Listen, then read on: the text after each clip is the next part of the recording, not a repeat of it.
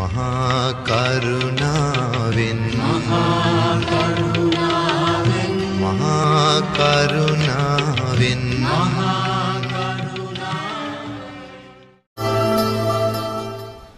මං දැන් ඔබට විස්තර කරනවා පින්වතුනි. ජාතිය ගැන. මේ ජාතිය කියලා කිව්වේ සිංහල ජාතිය දෙමළ ජාතිය මුස්ලිම් ජාතිය නෙමෙයි. ජාතිය. මේ ජාති දුක පින්වතුනි එක්තරා මීයෙක් ගෙදර ඇවිදිල්ලා ගෙදර ඔක්කොම බඩු ටික කාලා විනාශ කරනවා දැන් මේ මීයා ගැන පුදුම තරහක් මේ ගෙදර මිනිස්සයාට ඇති වෙන්නේ. මේ මිනිස්සයා ගේනවා මී හබකක්. මී හබකක් ගෙනහල් ඉවර වෙලා පින්වතුනි මේ මිනිස්සයා මී හබක තියලා තියෙනවා. මී හබක අටවනවා. ඕකට පොල් කෑල්ලක් පුච්චලා ඇතුලේ ගහලා. මීයා පින්වතුනි ඕක ළඟින් යනකොට වෙනදට නම් හබක විතරයි තිබුණේ මීයා හබකට ප්‍රශ්නයක් උනේ නෑ. මිය ගියා යන්න. දැන් පින්වතුනි මේ පෙට්ටිය ඇතුලේ පොල් කෑල්ලක් නැත්තම් කරෝල කෑල්ලක් දාලා තියෙන්නේ. මීයා මේක දැකපු ගමන් මීයට ඉවසුන්නේ මීයා මොකද කරන්නේ? පැන්න මොකටද? කරෝල කෑල්ලට. පැන්න ගමන් හබක වැටුණා. දැන් හබක වැහිලා තියෙන්නේ මේ අයිතිකාරයට මේ මීයට ඕනේ දෙයක් කරන්න බැරිද දැන්? හබකට අහුවෙච්ච මීයට ඕනේ දෙයක් කරන්න බැරිද දැන්? මේ මීයා වල්ලලා පොලේ ගහන්න බැරිද?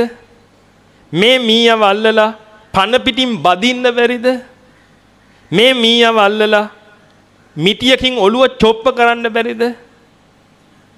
බඩ පළල හදවත වැඩ කරන්නේ කොහොමද කියලා බලන්න බැරිද පන පිටින්?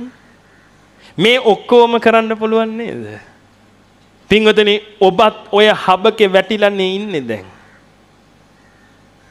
ජාතිය කියන හබකට වැටිච්ච ඔබට ඊළඟට මොකද්ද වෙන්නේ කියලා ඔබ දන්නවද? ඔබ ජාතිය කියන හබකට වැටිලා ඉවරයි පින්වතුනි මෙතනින් එහාට ඔබට මොනව වෙයිද කියලා කවුද දන්නේ? බලන්න ගියාත් බැවේ කරගත්ත අපරාධයක් ඔබ. ගියාත් බැවේ මේක අවබෝධ කරගත්තා නම් පින්වතුනි ඔබ ආයි උපදින්නේ නැහැ නේද? එහෙනම් මේ අත්බැවේ දැන් ඔබ ඉපදුනා නම් පින්වතුනි ඔබ අරිහත් ඵලයේ සාක්ෂාත් කළත් මේ අත්බැවේන දුකෙන් නිදහස් වෙන්න පුළුවන්ද ඔබට? කැලණි මහරහතන් වහන්සේ තෙල් කටාරමක උණු වුණා. අත්බැව් ගානකට කලින් මැස්සෙක්ව උණු කිරිවීදුරුවකට දාපු එකට. පින්වතනි ඔබ කුඹුර හදලා තියෙන්නේ. දැන් ඔය කුඹුර හදපු එකට බීජ වැටෙන එක නවත්තන්න පුළුවන්ද ඔබට? අරිහතුන් වහන්සේ නමක් කියලා කියන්නේ පින්වතුනි එකම පාපයක්වත් පුණ්‍ය කර්මයක්වත් කරන්නේ නැති උත්තම පිරිසක්. ඒත් උන්වහන්සේට හදාගත්ත කුඹුර තියෙනව නේද? දැන් ඕකට වැටෙන්නේ නැද්ද බීජ? මුගලන් මහරහතන් වහන්සේට වැටිච්ච බීජේ කොයි කාලේ කරපු එකකට ආපු බීජයක්ද? අත්බැව් ලක්ෂ ගානකට එහා පැත්තේ කරපු එකකට ආපු බීජයක් නේද වැටුනේ? හොරු ඇට කුඩු වෙනකන් ගැහුවේ. එහෙනම් පින්වතුනි නිකමට හිතලා බලන්න ಜಾතිය හදනවා කියන එක මොන භයානකත්වයක්ද තියෙන්නේ ඔබට මේවා හිතෙන්නේ නැද්ද? ජාතියක් හැදෙනවා කියලා කියන්නේ ආයිත් මම කියනවා මේ සිංහල ජාතිය දෙමළ ජාතිය ගැන නෙමෙයි කියන්නේ. නැත්තම් කියයි යම්බෝ සිංහල ජාතිය වනසන්න බන කියනවා කියලා. එහෙව් පෙරහන් කඩ ඉන්නේ. ඔබට මොහොතකටවත් හිතෙන්නේ නැද්ද පින්වතුනි මේ හදපු ජාතිය මහ භයානක ජාතියක් කියලා? ඊළඟ මොහොතේ ඔබට මොනවා වේද කියලා කොහොමද ඔබ දන්නේ? මේ ඊයේ පෙරේද අපේ මහත්තයෙක් මට පෙන්නුවා. ඉන්දියාවේ හරි කොයි හරි රටක ආගමික උත්සවයක් තියෙනවා. එක මිනිස්සෙක් ස්ටේජ් එකකට නැගලා වටේ ඉන්න අය ගහනවා බෙර. අනිත් අය ඔල්වරසන් දෙද්දි මේක එළුවෙක්ව මේ තඩි මිනිහෙක් එළුවෙක්ව යට කරගෙන ඒ එළුවව ඒ මිනිහගේ කටින් පන පිටින් හැම ගහනවා. ජාති දුක කියන්නේ ලේසි දුකක්ද පින්වතුනේ? හැම ගහන්න පටන් ගන්න යටි තොලෙන්. ඔබ පොඩ්ඩක් හිතලා බලන්න ජාති දුක කියන්නේ මොන ගින්නක්ද කියලා. යටි තොලට ඒක කටින් අල්ලගෙන අදිනවා. මේ බෙල්ල හරියෙන් හැනකම් අර හංගඩේ ගැලවිලා යන්න. අරක මරලා තෝනි දෙනවා. තව එකක් මට පෙන්නවා. මේක ඔබගේ දරුවටත් විය හැකි ළඟ ළඟම. කුඩු ගහන පාර්ශව දෙකක්. එක පාර්ශවයකට යන්තම් සම්බ ඒ දෙන්න ඒ දෙකොල්ලෝ අතර ලොකු ප්‍රශ්නයක් තියෙනවා. ඒ පාර්ශවයට යන්තම් සම්බන්ධ වෙච්ච දරුවෙක්ව අරගෙන යනවා අනිත් පැත්තෙන් ඇවිදින්න. අරගෙන ගිහිල්ලා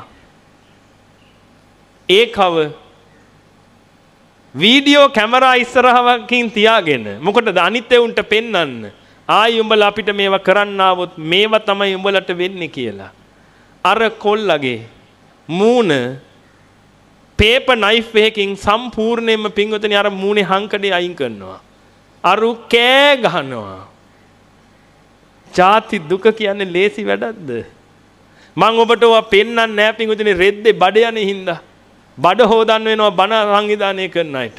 නැත්තම් මම ඔබට මේවා පෙන්නනවා මේ තිරෝල දාලා. ಜಾති දුක කියන්නේ මොන ගින්නක්ද කියලා. ඔබ සෙල්ලම් කරන්නේ මේවත් එක්ක නේද? අන්තිමට ඒ කොල්ල අතින් අර මූණ අල්ලන්න හදන නිසා අරුන් මොකද කරන්නේ පිංගුදින වලලු කරගාවින් අත් දෙකම කපනවා. ඔබගේ අහිංසක දරුවටත් ওই ටික කොයි වෙලේ වෙන්න බැරිද පිංගුදින? ඔබට ওই ටික නොවී තියෙයිද? ඕවා දැන් මේ අන්තර්ජාලයේ හැමතැනම තියෙනවා. දැන් ලංකාවේ මිනිස්සුත් ඔව ඉගෙන ගන්න එකක් නැද්ද? ඔබගේ දරුවා කොල්ලෙක් එක්ක යාළු වෙනවා. යාළු වෙලා ඒ කොල්ලව අතහැරුව ගමන් ඒ කොල්ලට එනවා ඔයක ඔළුවට. ගේන වැසිට් ටිකක් ගහලා දානවා. දැන් කොහොමද විඳවන්න වෙන විඳවිල්ල? ජාතිය කියලා කියන්නේ මොන තරම් භයානක දෙයක්ද කියලා මේ මිනිසුන්ට වැටහෙන්නේ වැටහෙනවනම් හත් දෙයියනේ මේ ලැබිච්ච මනුස්ස ජීවිතෙන් කොහොම හරි ජාතිය කෙලවර කරගන්නවනේ නිකමට හිතන්න පින්වතුනි ඔබ මේ දක්වා ජීවත් වෙච්ච ටිකම ආයි කරන්න වෙනව නේද ඊළඟ අද්දවේ ඉපදුනොත් නිකමට හිතන්න පිංගුතුනි අද ඔබ ගෙදර යනකොට බස් එකෙන් බහිද්දී ඔබ ඔබ ඇටිලා ඔබගේ ඔළුව වදිනවා. ඔබට අංශභාගය හැදෙනවා. මැරෙනකන් කුණු වෙවි නෙමෙයිද බලන්න ඔබට මැරෙන්න වෙන්නේ. ಜಾති දුක කියලා කියන්නේ මොන තරම් භයානක දෙයක්ද? දැන් ඔබ කුඹුර හදාගෙන දෙයියෝ ගාවට ගිහිල්ලා යදලා වැඩක් තියනවද? අනේ බීජ නම් වැටෙන්න එපා. බීජ නම් වැටෙන්න එපා. ඒකට නෙමෙයිද ඔබ දෙයියෝ වඳින්න ගිහිල්ලා. මං සංසාරේ කරගත්ත එක බීජයක්වත් වැටෙන්න එපා. ඔය ටික කිව්වට පුළුවන්ද? දෙයියෝ උඩ ඉඳලා කියනවා උඹ පිස්සු කතා කරනවා මිනිහෝ මගේ කුඹුරට බීජ වැටෙනවද කියලා බල බල මං ඉන්නේ කියලා. ඇයි දෙයියොත් මොකද කරලා තියෙන්නේ? දෙවියොත් කුඹුර හදාගෙන තියෙන්නේ පිඟුතුනේ කොයි වෙලේ හරි ඒ කුඹුරටත් මොකද වෙන්නේ? ඔය බීජ වැටෙනවා. අරිහතුන් වහන්සේගේ කුඹුරටත් බීජ වැටෙනවා නම් පිඟුතුනේ දෙයියන්ගේ කුඹුරට වැටෙන එක ගැන මොන කතාවද? තථාගතයන් වහන්සේගේ කුඹුරටත් බීජ වැටුණාද නැද්ද? වැටුණා. ඇයි උන්වහන්සේට සුවනවන ඔලු කැක්කුමක් තිබුණ නැද්ද? උන්වහන්සේට කොන්දේ අමාරුවක් තිබුණ නැද්ද? ලෝහිත පක්ඛන්දිකා රෝගය හැදලා ලේ බඩ ගියේ නැද්ද උන්වහන්සේට? එහෙනම් ඔය ඔක්කොම පින්වතුනි උන්වහන්සේ කුඹුර හදාගත්ත නිසා නේද ඒක උනේ? එහෙනම් නිකමට හිතලා බලන්න පින්වතුනි, જાතියක් සකස් වෙනවා කියන කියන එක තරම් භයානක දෙයක් කොහෙද තව ලෝකේ තියෙන්නේ කියලා? ඉතින් දැන් ඔබට මේ જાතිය සකස් වෙච්ච වෙලාවේ පින්වතුනි මෙතනින් එහාට ඔබ මොකද්ද කරගත යුත්තේ? වහ වහා මේ જાතියට තිත තියාගන්න එක නෙමෙයිද? ඔබ කල්පනා කරලා බලන්න පින්වතුනි ඔබ හොඳට මොලයක් බුද්ධියක් තියෙන හොඳට ඉගෙන ගත්ත මිනිස්සුනේ. කල්පනා කරලා බලන්න ඔබ જાතියට තිත තියෙන එකද ඔය කරන්නේ?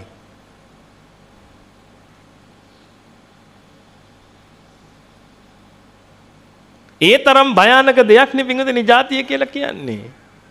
බුදුහාමුදුරුව වෙන්න ඉපදිච්ච જાතියත් ඒ තරම් භයානකයි නම් ඔබගේ જાතිය ගැන මොනවද කතා කරන්න තියෙන්නේ?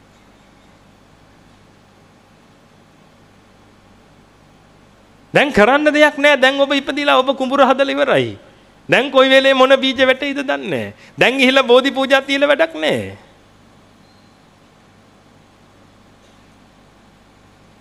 බෝධි පූජා තියලා ඉල්ලන්නේ මොකද්ද? මං කුඹුර හදාගත්තා. මගේ කුඹුරට බීජ වැටෙන්න නම් දෙන්න එපා. දැන් ඕක කරන්න පුළුවන්ද?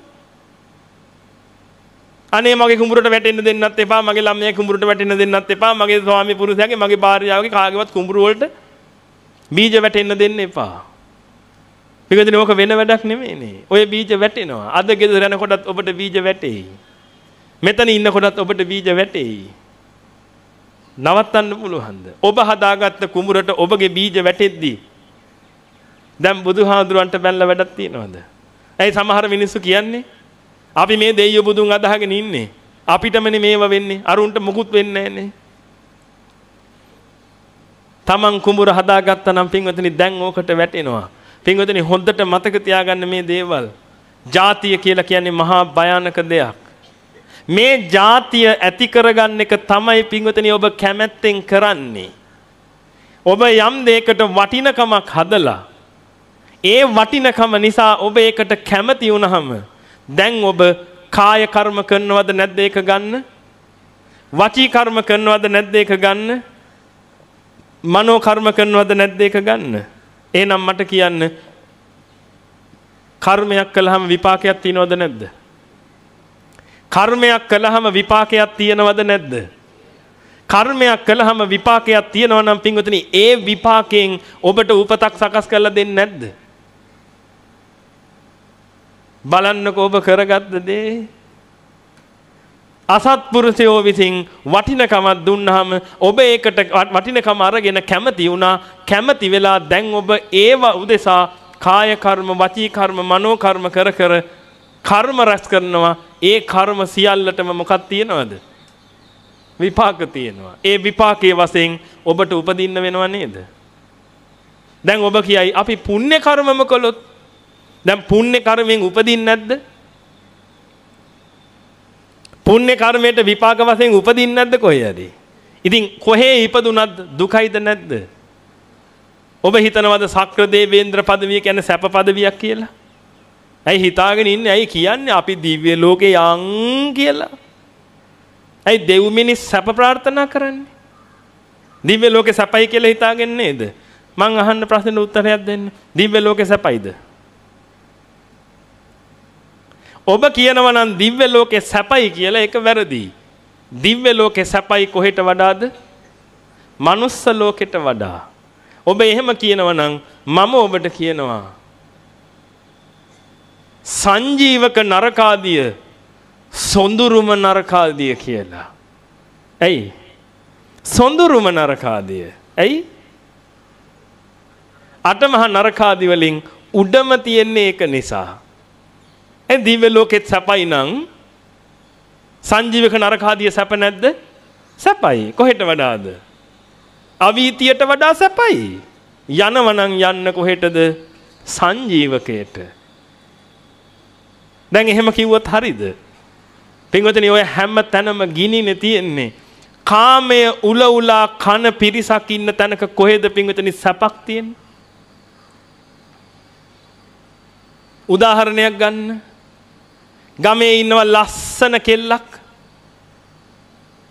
මේ කොල්ලට කොහොම හරි ඕනේ මොකද හැමෝම ඒක දිහා බලන නිසා මේ කොල්ලට ඕනේ ඒ කිව්වම ගෙදර ගේන්න.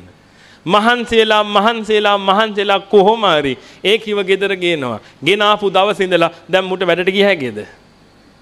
මෝ කියනවා එළියට බහින්න එපා. මං ජනෙල් ටික ඔක්කොම බැහුවා. කවුරුත් ආවට කතා කරන්න එපා. කියනවද නැද්ද?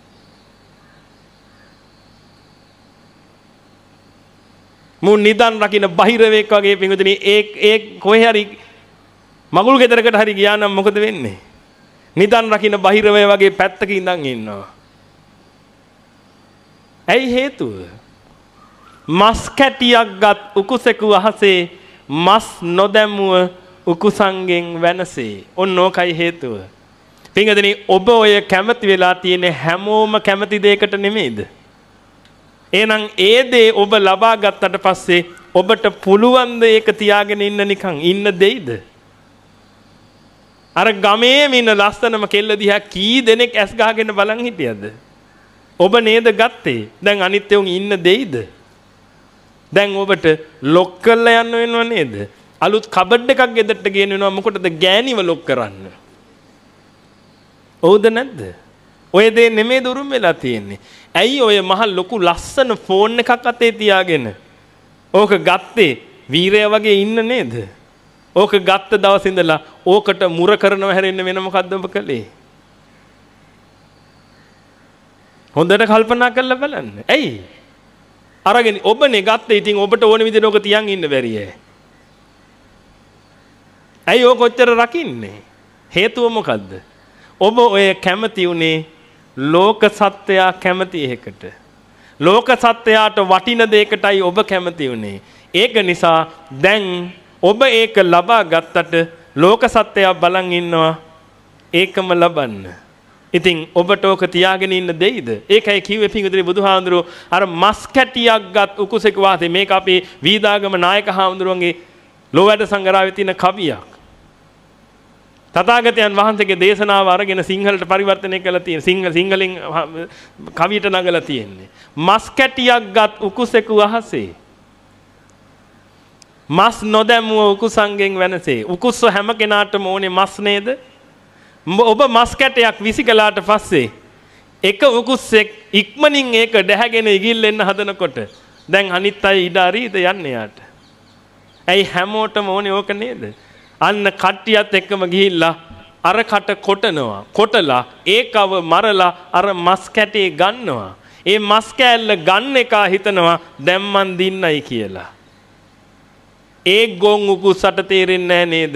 කලින් එකාට වෙච්ච එකම තමයි මටත් වෙන්නේ කියලා. අනේ පින්වතුනි ඔබ ඔබගේ වාසනාවන්ත මනුස්ස ජීවිතේ සිකියුරිටි ගාඩ් කෙනෙක් විදිහට ගත කරලා මැරිලා යනවා. ඔබගේ සාක්කුවේ තියෙන යතුරු ගාන ඒකට සාක්ෂි දරනවා ඇති. ඔබට නිදහසේ නිදා ගන්නවත් බෑ නේද? මොකද්ද පින්වතුනි මේ කරගත්තේ ඔබ ජීවිතේට? තිරිසන්නු මෙයිට වඩා හොඳට සතුටින් ජීවත් වෙනවනේ. පොඩ්ඩක් හිතලා බලන්න. ඔබ මොකද්ද මේ කරගත්තේ? ෆෝන් එක රකින්න ඕනේ මාලේ රකින්න ඕනේ මුද්ද රකින්න ඕනේ වලලු ටික රකින්න ඕනේ ඇඳුම් ටික රකින්න ඕනේ පොඩි ළමයව රකින්න ඕනේ ලොකු ළමයව රකින්න ඕනේ කෙල්ලව රකින්න ඕනේ ලොකු දුවව රකින්න ඕනේ අම්මව රකින්න ඕනේ. තව කොච්චර කියන්නද මං? හෙට එළි වෙනකන් කිව්ව හැකි නේද ඔබ රකින්න ටික? මොන අපරාධයක්ද පින්වතුනි ඔය කරගත්තේ? ඔබ රැස් කරනකොට හිතුවේ නෑ නේද ඔය ටික ඔබට වෙයි කියලා? නමුත් අන්තිමට උදා වෙච්ච දේ බලන්න එහෙනම් හොඳට කල්පනා කරලා බලන්න පින්වතුනි මේකේ තියෙන ආදීනව. මෙන්න මේක හරියාකාරව ඔබට වැටහුණා නම් ඔබට අනත්ත් ස්වභාවය කියන එක වැටහෙනවා. තථාගතයන් වහන්සේ දේශනා කරපු අසාර ස්වභාවය. මෙන්න මේ අසාර ස්වභාවය තේරුම් ගන්න උත්සාහ කරන්න. හොඳට බලන්න පින්වතුනි ඔන්න අසත්පුරුෂයා විසින් වටිනකමක් දුන්නහම ඔබ ඒකට කැමති වුණා. කැමති වෙලා ඔබ ඒක ලබන්න කාය කර්ම වචී කර්ම මනෝ කර්ම කරද්දී ඒකට විපාකයක් විදියට ඔබට උපදින්න වෙනවා. ලේසි පහසු වැඩක්ද? ඔබට જાතියක් සකස් වෙනවා. ඒ જાතිය දේව જાතිය වුණත් ඒක જાතියක් පිංගුතනි ඒකට ඒ කාන්තයෙන්ම සංසාරේ කරගත්ත විපාක වහිනවද නැද්ද? විපාක වහිනවද නැද්ද? වහිනවා. සුගතිය ඉපදුනා කියලා එකක් නැහැ පින්වතුනි. දිව්‍ය ලෝකේ චාතුම් මහා රාජිකයේ ඉන්නවා නාග කියලා කොටසක්. දේව කොටසක්. මේ නාග කොටස පණ බයේ ගැහෙනවා පින්වතුනි කාව දැක්කහමද? ගුරුලන්ව දැක්කහම. ගුරුළු රාජ පිරිසක් ඉන්නවා. දිව්‍ය ලෝකේ. මේ ගුරුළු මේ මේ තිරිසන්නු නෙමෙයි. ගුරුළු කියලා දේව කොටසක් ඉන්නවා. ඒ දේව කොටස දැක්කහම පණ බයේ ගැහෙනවා. බුදුහාමුදුරුවෝ මහා සමය සූත්‍රයේ දේශනා කළා තියෙනවා. යේනාග රාජා සහසා හරන්ති. මේ නාග රාජයෙන්ව සැහැසි ලෙස ඩැහැගෙන යන ගුරුළු පක්ෂියෝ ගැන. ඉවරයි නේද ජීවිතේ? ඇයි දේව ජීවිතේ ගත්තේ? දැන් මොකද වෙන්නේ? දැක්ක ගමන් අරන් යන වරන් ගිහලා මරලා දානවා. දැන්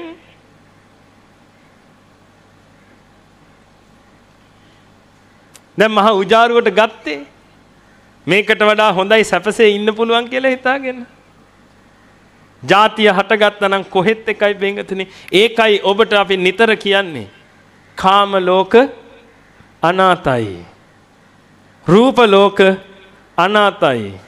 අරූප ලෝක අනාතයි. සියලු ලෝක අනාතයි කියලා. මොකද පින්වතුනි හැම ලෝකෙකම තියෙන උපතක් නම් ජාතියක් නම් ඔය ලබන ජාතිය මහා අනාතෙන් අනාතෙට ගිය ජාතියක්. ලේසි පහසු දෙයක් නෙමෙයි. එහෙනම් දැන් හොඳට විශ්ලේෂණය කරගෙන බලන්න.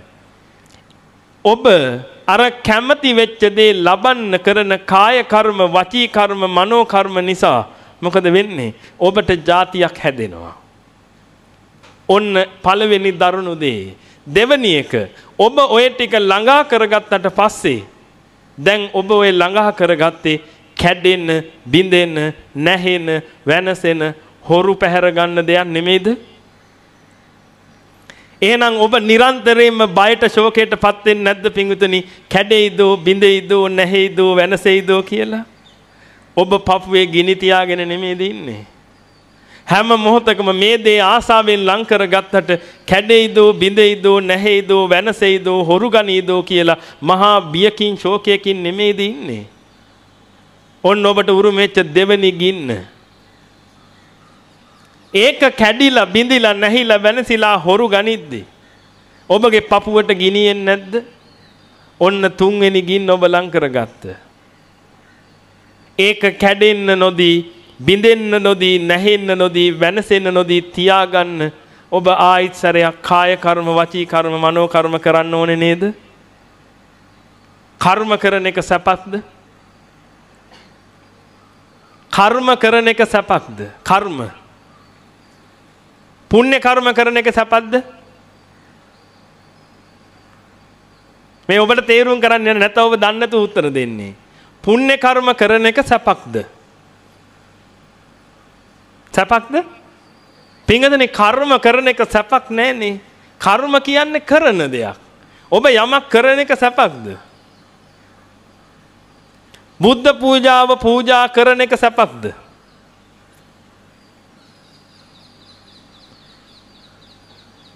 කරන දේ ගැන මම මේ කියන්නේ. ඒකේ ලැබෙන ප්‍රතිඵලය ගැන නෙමෙයි. කරන දෙයක් කර යමක් කරද්දි සැපක්ද ඒක? නෑ. ඔබට දෙනවා ලොකු වට්ටියක් ඕක උස්සගෙන ඇවිදින්න ඉවර වෙලා ඕක උස්සගෙන අරන් එන එක සැපක්ද?